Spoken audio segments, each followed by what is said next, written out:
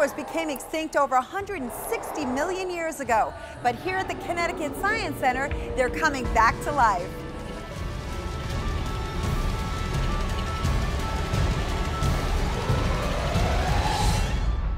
Wow, he's cool!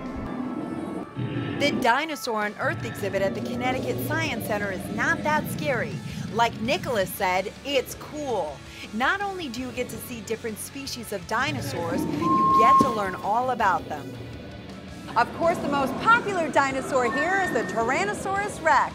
Just like all the other animatronic dinosaurs, the Tyrannosaurus rex lifelike size and motion will leave you breathless.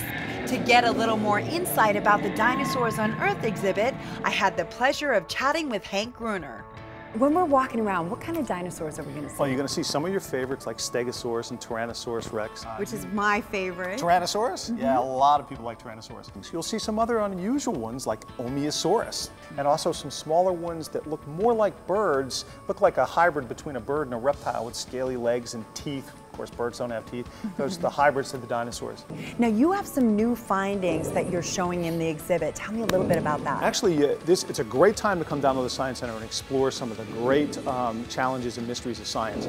Just this year, they were able to sequence some protein from um, some of the bones that they found and get a DNA sample that basically told that they're very similar to birds. They're finding feathers on them now? They are. Not only are they finding feathers on them, but they actually are finding the follicles right inside the skin, so they're finding some very interesting things. Have you ever seen coprolite dungstone, also known as fossilized poop? Well, that's one of the things you'll see at Dinosaurs on Earth.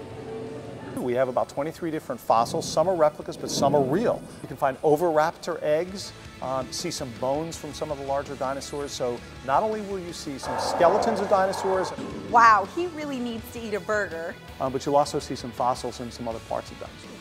There's a lot more to enjoy at the Connecticut Science Center, like forces in motion, kid space science at play, a River of Life wet zone where you can interact with some aquatic creatures in their touch tank, and don't forget their 3D movie theaters. I want to learn a little bit more about the dinosaurs, so I'm going to watch T-Rex and Flying Monsters. Let's go.